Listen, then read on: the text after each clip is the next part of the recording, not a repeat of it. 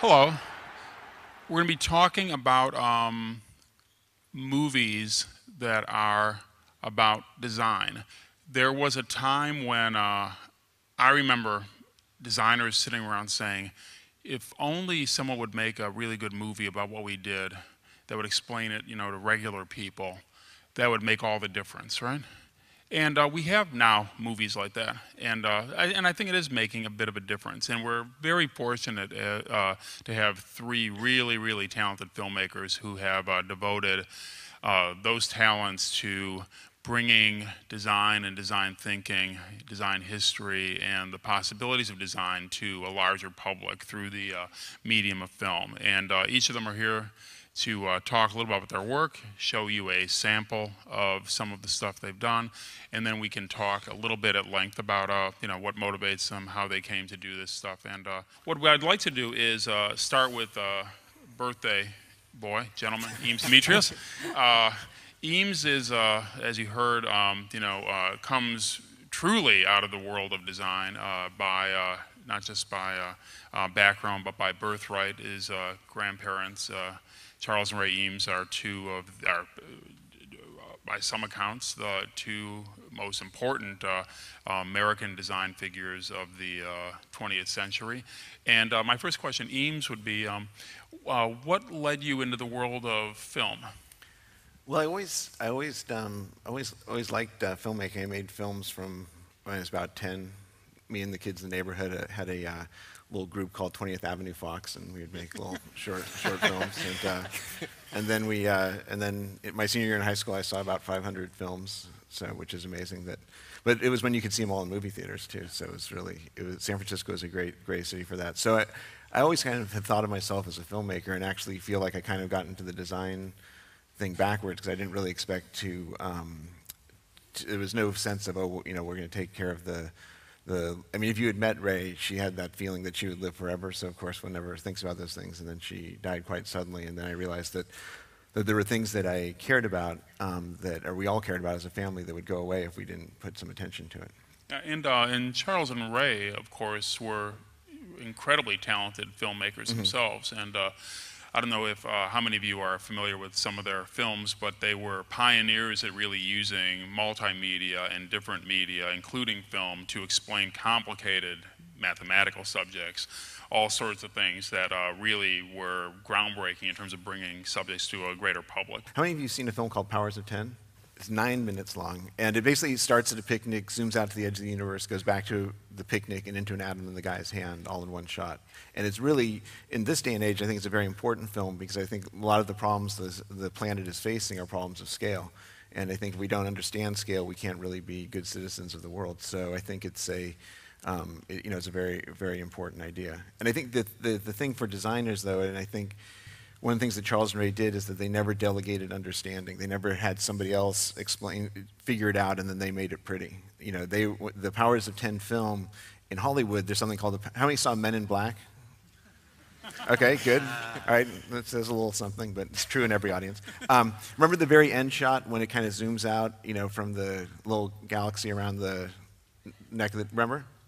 Well, in Hollywood, that's called the Powers of Ten shot because it's inspired by the Eames film Powers of Ten.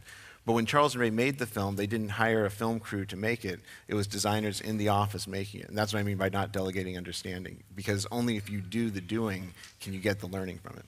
Yeah, in terms of the doing that, in terms of the doing that you've done, you want to talk about, uh, you know, um, how you developed as a filmmaker and uh, show us some of your work? I'd love to, and I, um, you know, what I like in filmmaking is I like uh, I really enjoy um, helping people understand their own stories better. And sometimes I do that for a company, sometimes I do that for um, just a, a, place that I'm exploring. One of the film, I'm only, the film I'm going to show just now is a clip from a film that I did about Charles and Ray, because I really felt that that was some, it, felt the most appropriate. But one of the films we're showing at the festival is a film called Lucy's House, which is about the rural studio um, program started by um, Samuel Mockbee. And um, but what was nice about, about that film is it's only 15 minutes long. So design teachers or people can use it and it can be more of a provocation. Um, and uh, you know, the, we, when you do a feature film, there can be a really in-depth investigation, but sometimes for a teacher, it's really great just to have that, the germ of the idea. I've done um, I also I've done films not related to design. I'm working. Uh, I did one on the modern Maya of southern Mexico. I did um, a really a, a, project I can't believe I did, which is I interviewed the same 28 people every three weeks for a whole year to take a. I actually have five percent of the running time of 1988 on on tape. it was kind of sort of crazy, but. Um, but it was right, really about how we learn about ideas in the in the uh, media age. So I've always tried to do things where I can um, uh, do it do it myself to some degree and have the uh, creative independence to explore it the way it should go. So if we um, want to see a little bit of uh, Oh, they need you need to describe what's what, yeah. Let me, what let me just, going to show. Yeah, I'm going to show you a film.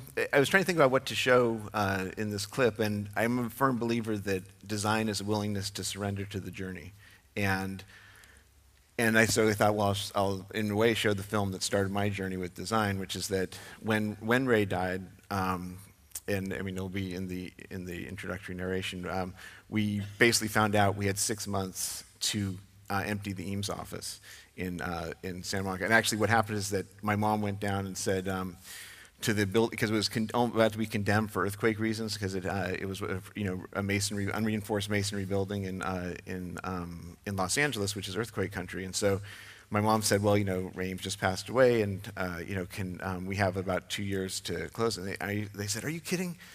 That old lady's been sweet talking us for years from not condemning that place. You got six months, which in some ways was a mercy, mercy because we really had to deal with it. But I meant almost immediately I had to start filming and capturing it because it was just a very magic place. I, you know, it was such a great place to go as a kid. It was literally like Alice in Wonderland. You went through the Looking Glass, and you, um, I know it's two different books, but anyway, you go through the Looking Glass, and uh, and um, you know, you were in, the, in this other world of amazing project. Plus, there was a whole surreal thing there that they, you know, people think about design spaces as sort of, you know, fully expressed visual designs, but for Charles and Ray, the most important thing was flexibility. And in fact, even the walls were only clamped in. So sometimes we'd go down there and look, you know, and two months later it looked totally different because they'd moved everything around. It's very, very interesting. Um, so the film, the film uh, we're going to see is we're just going to watch the first, you know, four minutes of the film, um, and uh, it'll give you a sense of uh, that. So if we could uh, cue that up.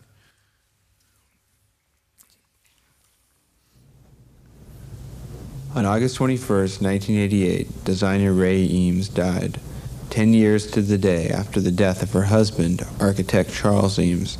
Following her plans, 901 Washington Boulevard, their workplace for 45 years, was sold and its contents dispersed by the family to museums and other institutions according to her wishes. But first, we made this record of the marvelous world Charles and Ray designed within 901 and the process of closing it.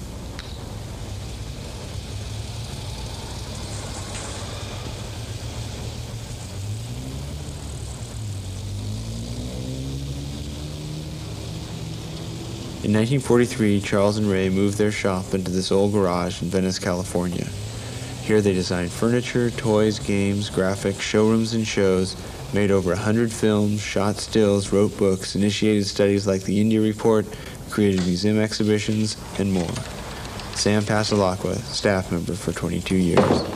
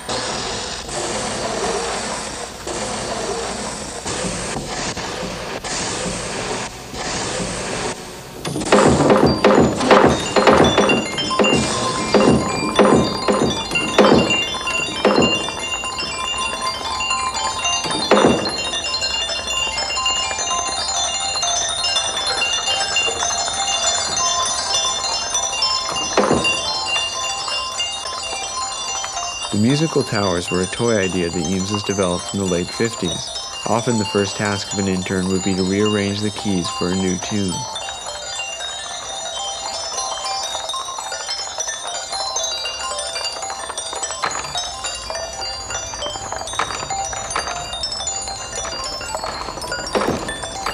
Ray's eye and memory for color and shape were legendary. From the start, much of her work was done here in the graphics room, one of the original three rooms of the office of Charles and Ray Eames.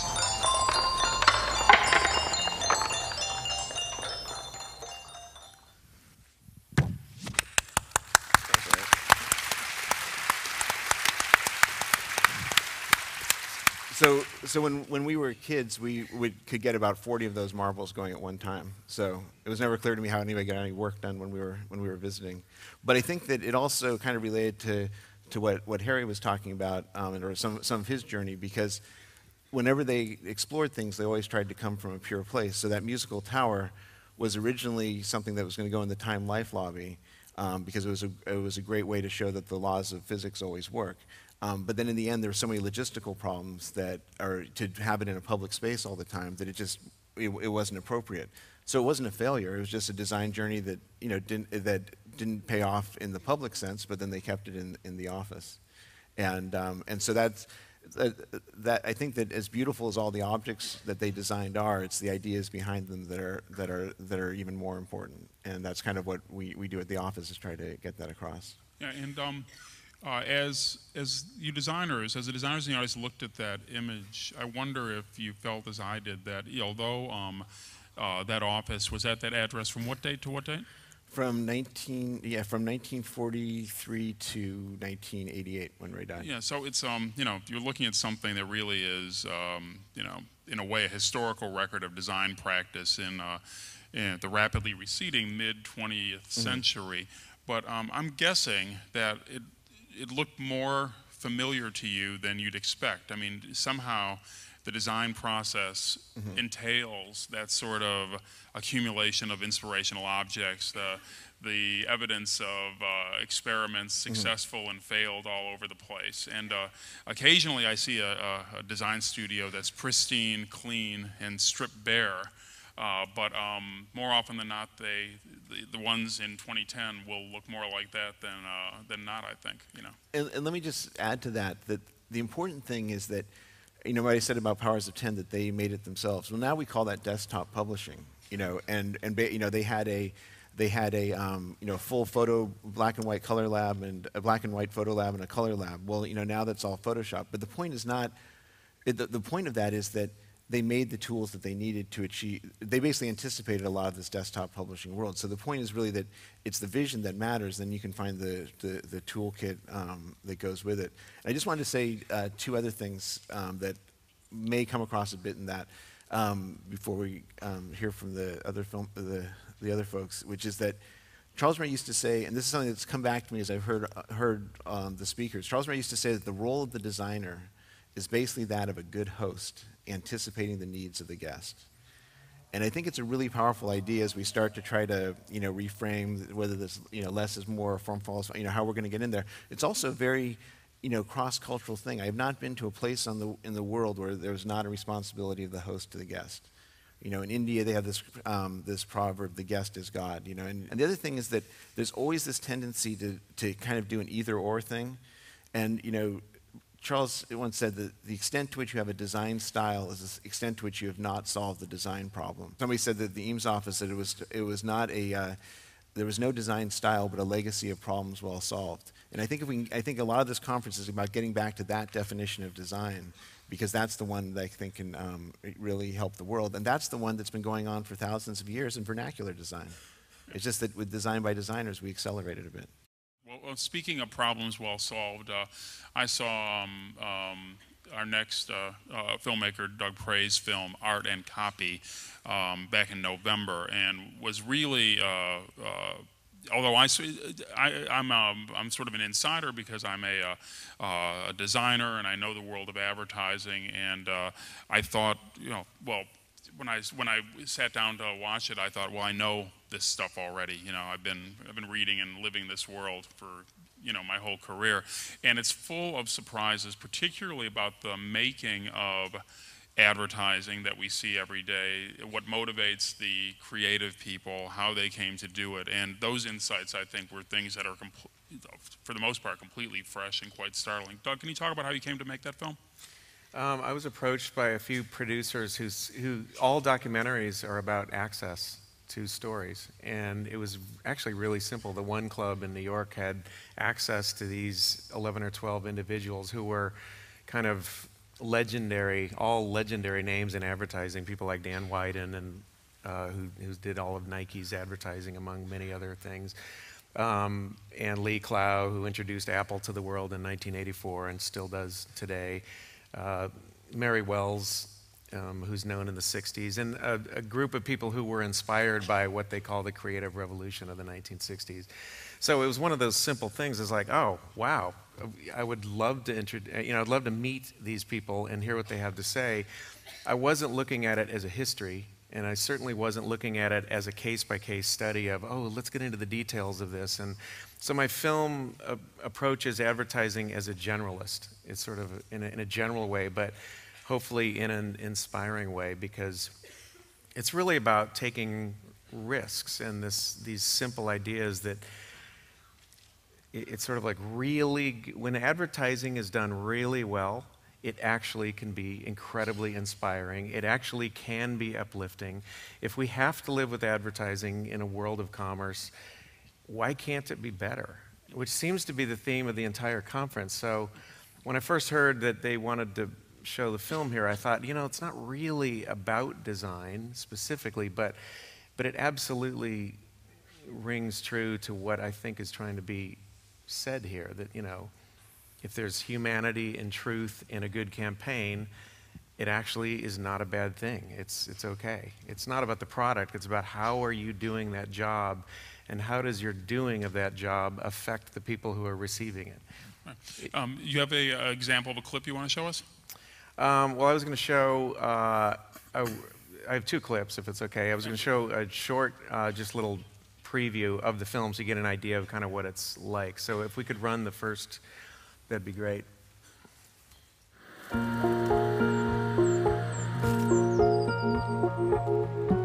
The frightening and most difficult thing about being what somebody calls a creative person is that you have absolutely no idea where any of your thoughts come from, really. I think there's always an innate human urge to put something out there and see what people are going to make of it. We're doing exactly the same thing as the guys that were painting on caves. I think what you can do is manufacture any feeling that you want people to have. I was born, as a number of people in advertising, with a gift for sensing what it is that will turn you on. I think creativity can solve anything. Anything, anything.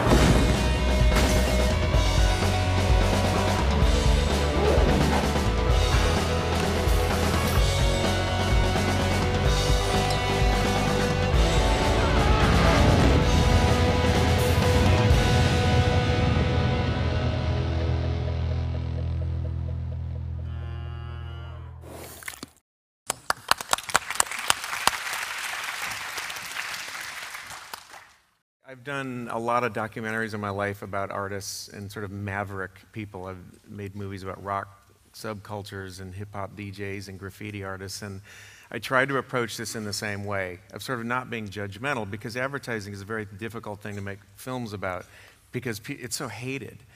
And I really agree. I mean, and I do too. I think we all hate bad advertising. You know, and if 98% of all advertising is bad, the theory of this film is kind of like, well, can, you know, like I said earlier, can we make better advertising? And so I'm going to just preface that I'm going to show you a clip from the movie that is actually, um, it's, it's basically George Lois, who's kind of one of the legendary 60s. I guess you could almost call him a real madman, although my movie has nothing to do with the TV series Mad Men, if anybody's seen that. Um, It, but he is, he is from that era when, in the 60s, when advertising was really exciting. And to him, he felt strongly that you can use advertising to be revolutionary. You can use it to be subversive. You can use it to challenge the status quo. And what I'd like you to think about when you watch this next clip isn't the fact that it's about Tommy Hilfiger. It's not about the clothing. I, you know, my interest isn't in the product in this film or in this next scene. It's about a few things that are really, really extraordinary about what he did and what I think a lot of the people in my film did that is actually different from all the other 98% of advertising. And that is number one, the way they did their campaign was very much a part of their personality. So you'll see that it's a very punch you in the face kind of campaign. And if you know anything about George Lois, which you learn in the film, he grew up on the streets of, of the Bronx and he grew up fighting kids all the time. And all of his campaigns are like that. They're kind of, they are him, they are his personality. And that's something I'd never realized about advertising is that good advertising might actually reflect the personality of its creator, just like a good film or a book or anything else. The second thing is what I've already mentioned, but just this idea of you can make campaigns that in their own way are subversive or kind of challenging the status quo. So that'll be very evident in what he did. And I think the most interesting thing about uh, just this scene and, and some other stuff in the movie is when you can actually find evidence of, ad, of the communication itself improving the product. When you can actually make an argument, and when, when can you ever do this when you're talking about advertising and you know, the world. When you could actually say, that ad campaign made the product better and maybe made people's lives like this much better. Like, I don't really care about jeans so much, but if clothes are better, then they're better than not better clothes. That's all. so that's all I'm going to say. And um, so I hope you enjoy it and come see the whole film if you like it. And uh, yeah. I can make Tommy Hilfiger famous, and important brand, you know, in uh, a couple hours, you know. He is a visionary. He sees things normal people don't see, and he thinks about what they want to see before they know what they want. He had just recently developed the uh, launch ads for MTV, and he developed this advertising campaign to introduce an unknown to the world of fashion overnight, and he did it.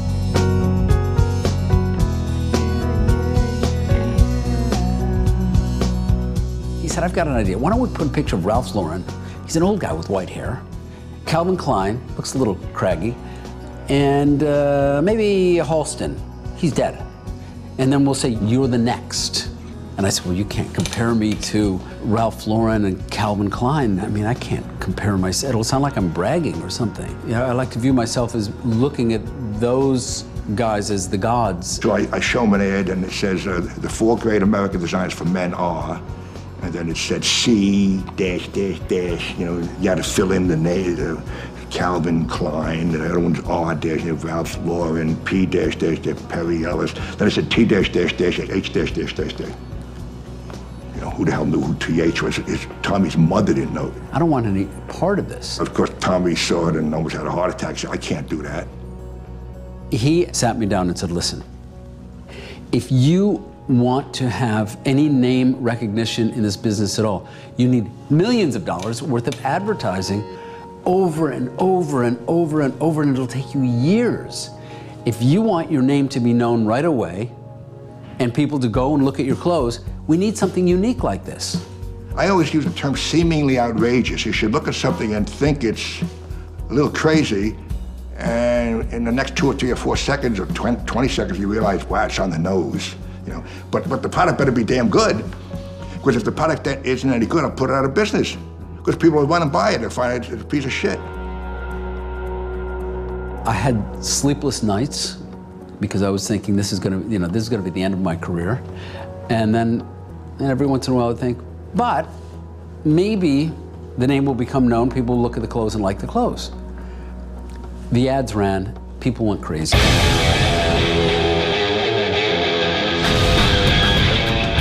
All of 7th Avenue said, Who does he think he is? He's no designer. Ralph and Calvin have been working years and years and years. He was on the Johnny Carson show the week after I ran here. I said, It's not a campaign I dreamed up myself. It was a, a, campaign Mr. George Lois dreamed up and convinced my business partner we should run. It was not my choice to run this campaign, and I'm a struggling designer, and I hope for the best with my company and my clothes, but I, I've been truly embarrassed by it. And I did a gigantic billboard that said the same words on 7th Avenue to piss off Calvin and Ralph, etc. He became famous overnight, literally. But it also drove me into such embarrassment. I rolled up my sleeves and worked harder than I ever thought I'd work. I knew there would be only one way to prove the naysayers wrong, and that would be to come out with amazing clothes. So I literally rolled up my sleeves and worked like an animal, making sure that every button, every zipper, every buttonhole, every color, every fit, every fabric was to perfection. George turbocharged my success, and then it just took off. Then the hip hoppers started wearing it, then the rockers, and then the su- suburbanites, then the dads and the moms and the kids, and my, my business burst into a multi billion dollar global business. Great advertising makes food taste better. It makes cars run better. It, it, it, it changes the perception of everything. Um, you know, I, you know, it, it, actually does prove exactly the point that you made about um, uh, um, you know, Hilfiger himself said, who, by the way, I mean, it's hard to imagine now, but literally, I remember when that campaign came out, no, no one had, he wasn't, he wasn't like a lesser known designer. He was an unknown designer. No one had ever heard of this guy. And the amount of audacity and brazen chutzpah it took to run any of those ads, and the fact that he had plausible deniability and could go on and say, it wasn't my idea. it's just fantastic. You know, the whole thing's so diabolical. It's uh, really wonderful. But then it made the, uh, you know, it pushed him to really rise to the occasion. It sort of set a bar for him to come to. So it's pretty remarkable. And uh, the great thing about um, Doug's film is that there's story after story after story like that. One question I have, Doug, is I, I was um, looking online and sort of like looking at reviews of the film, and I noticed one thing over and over again. I think because, as you say, um, people have a tendency to dislike, be suspicious of advertising, and um, this is a film that isn't a, um, you know, a uh, an Adbusters style critique, right. blanket critique of advertising. It's, as you say, a kind of like measured, objective view of it. Um, I was uh, sort of surprised at how many reviews I read that kind of took the point of view as I went in to the theater expecting to, uh, you know, with my guard up and actually get disarmed by story after story like this, and you get involved with uh, basically the um, uh, the act of people, the act of human beings, the people you've never heard of who've, who've affected your life, kind of taking on these challenges and uh, coming up with something that actually does affect your life in perhaps a positive way. Were you surprised at that reaction? Not at all. I mean, because I, I would have had the same reaction myself probably if I went to see the movie, but it's just because it's expected. If you make a film about advertising, you have to be making a film that's going to totally trash it. And I totally understand where that's coming from, but to me, that's a boring movie. I totally get it. I, you would start the movie and end the movie in the same place. I think if you want to fight advertising, it's much better to get to know the actual human beings who are the geniuses who are actually kind of constructing it and figure it out and then fight it if you want to. But it's, that's just my theory of all my films is I, I tend to I don't judge. I just, I just, I mean, I, that sounds lame, but I mean, I, I ask, I ask tough questions, but I don't, I don't make the movie for the point of destroying them. Otherwise, why would I make the movie? It's more just I want to, I want to get to know them, and I want to know where are they coming from, and learn something from them because they are the greatest communicators there are. They're so efficient at words and graphics, and it's, it's one of the amazing things about advertising is it's just so intense. You know, putting stuff in 30 seconds or on one billboard with a few words is, it's not easy to do, and they are really good at it. So I think as filmmakers, you know, I, I mean, I had a lot to learn from them. so. Um, Gary, uh, Gary Hustwit has made uh, two uh, acclaimed documentaries, uh, Objectified about the world of product design and Helvetica about um, a typeface that you're probably, that many people here are probably familiar with. Um, I know, I met Gary a few years ago. First, I believe, as I recall, by email. I got an email from this guy I'd never heard of saying he was planning to make a documentary about Helvetica. And, you know, could he come and talk to me about it? And I just remember, you know, you get a lot of emails, and this one really sounded. I get some screwy emails, and this one sounded like really implausible, you know. And then, uh, uh, you know. Uh, Months and months and months go by. I come in, I meet Gary a couple times. It sort of filmed a few times, and then all of a sudden, um, uh, we're at the premiere in New York at the Museum of Modern Art, and this uh, uh, what I think is an extraordinary film about the unlikeliest of subjects actually unspools before everyone's eyes. And uh, I'm in it for a few minutes, and to this day, my entire claim to fame, I, I can visit my uh, son's college campus, and uh, his classmates will stop me and they say, "Oh, our professor made, uh, had us watch Helvetica. Or, uh, we, we saw you in Helvetica, Mr. Bierut." And they're sort of like all, you know, pandering. Man, I do have an. I'm, I'm listed on your IM, uh, your your Internet Movie Database page as uh, Michael Bierut himself. Yeah. wow, That's great. So, so it, be, you know, my mom always told me you have to answer all the mail you get. You know, she that was before the age of email. So I, I'm very courteous to answer every email, and that was like one where it really paid off. How, um, how did you decide to uh, make that first movie about Helvetica? Well, it's it's um, you know it was mostly a movie that I wanted to watch as a as a as a fan of graphic design and sort of a, a closet um, you know graphic designer um, over the years. I mean, I've never been an actual graphic designer, but I've always sort of um, played around with with type and with um, design ever since I got my first Mac back in like 1988 or something. So. It's just something I wanted to I wanted to see, and it, it was something that I, I couldn't believe there wasn't already a film about graphic design and about typography, um, and I just really wanted to watch it, and and uh, that's I, I think that that's I guess sort of my um, my creative process in a nutshell. It's just things that I want to to do or to see or um, to go to that, that, that aren't that don't exist, and and I just can't figure out why they don't exist um, to the point where I actually just have to go out and, and just you know do it and make it. Yeah, we got into this a little bit with uh, uh, Doug, I think, but um, when you started, when you went in to make the movie, did you expect it to be what it turned out to be? Definitely um, not. I, uh, I, you know, it was it was like a, a little side project. It was like my, my you know, like little uh, uh, a personal film for me to watch, and and, and I think I, I made it just because like I made it the way I would want to see a film about about type, um, and. Uh, but but it, it's it's interesting to see there, there's such a there's so many people that are designers and generations of designers. And and um, you know everyone from you know Massimo Vignelli who's here to to young design students. And and and um, yeah I didn't I didn't really expect to uh, to uh, I don't know to have everybody um, you know receive it so so so warmly but but uh, You want to show um, the, the trailer? Oh, yeah, for- this- uh, if you haven't seen it, you may get a taste of it. yeah I haven't seen either um, Helvetica or Objectified we're just gonna run 90 second trailers uh, uh, for those two so.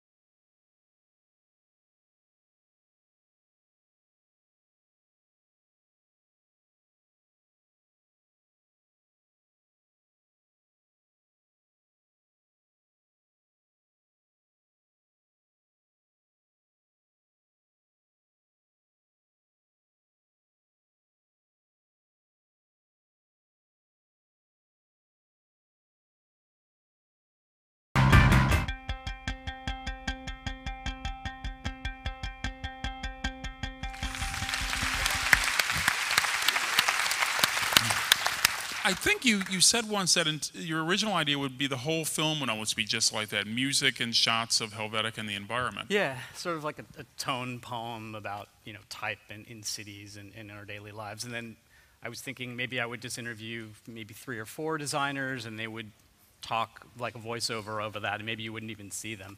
And then, of course, the more I, I got into the project, the more it really became about, about the people um, and all the creativity and all the, the work that goes into the simplest little typeface. And then uh, you followed that up. Oh, actually, and also I never, I just re- remembered, I still haven't called that crystal meth number to see what, like, to see what it is. I still, I still actually have to do that. I mean, wonder if it's still, like, connected or, there's probably a great story there, like, how many people call that number from seeing it in the movie. And, not, not necessarily looking for drugs, but just to see like if it's like my number or something. I still, I should guess I should find out. I bet it's a really coveted mem- number in the crystal meth community. They're, yeah. or the they're number just you like want, really, exactly. really angry that I, at me for doing it. But um, yeah, but then it, it, it you know expanded.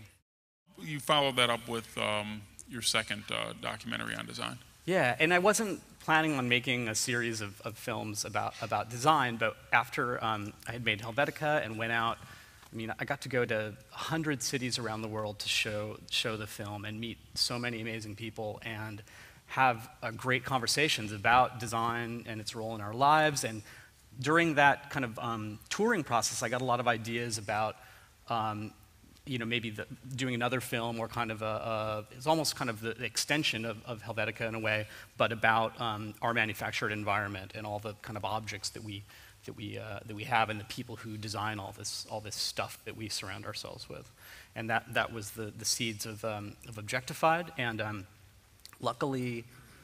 A lot of the designers had, had, who I approached about Objectified had already seen Helvetica or, or at least knew about it and, and kind of had a little bit of an idea of what I did. So um, it was a lot easier than my, my uh, random emails to you and everyone else for, uh, for Helvetica. But And do we have a trailer for Objectified Yeah, we can yeah. look at? if we can play that.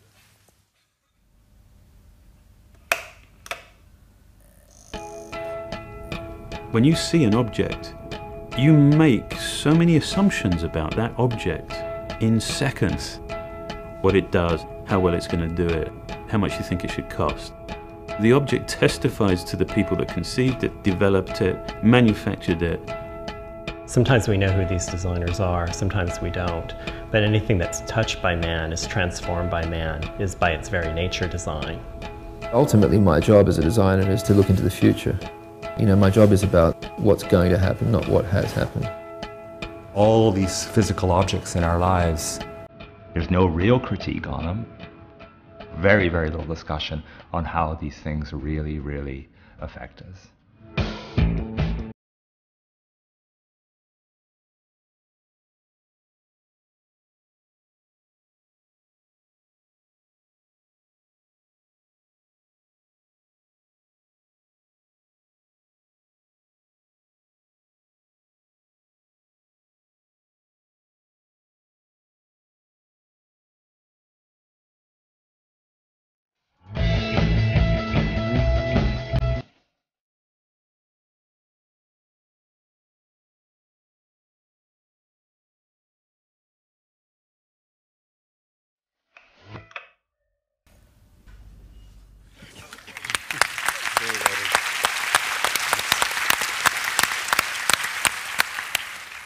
Lot, most of, I mean, the people in this room um, are probably more attuned, but I think most of us just take, take a lot of things for granted. The, you know, type on billboards or what you're reading or, or the furniture you're, you're, you know, that's around in your house. But um, the amount of decisions that go into the simplest object is just it's staggering. And, and I, I love kind of digging in and finding out that, that, that process and seeing um, the, the genius of these people behind all these designs. And they're unknown.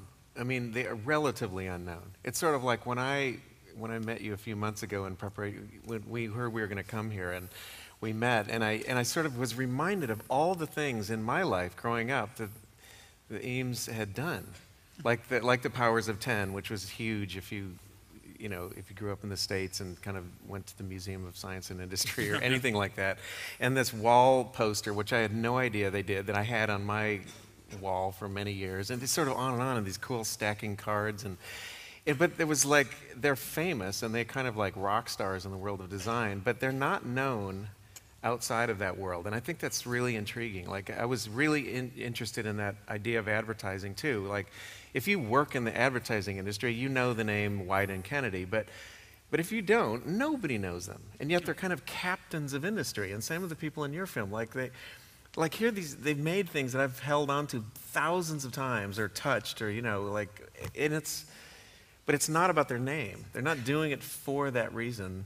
It's a it, I find that very interesting. So their fame is kind of fleeting and it's more about like how they're affecting you or Well, you know. I mean, all the all the people that are the subjects of these films, multiplicity is the essence of, of the work. In other words, there it's not about designing one particular object. It's actually about creating a system that can give that, whether you call it the guest host experience or whatever, you can give it again and again. So it's a very interesting thing. It's and it's I think it's one of the the reasons why people have a real challenge understanding things like um, design authenticity because we have this sort of fine art idea, but there's actually, you know, the the the objects that the people in your movie were designing are the objects that are made tomorrow. They're not designing like one thing that that goes into the museum. It's like can you pull it off and can it be validated by the by the way people use it in the in the world?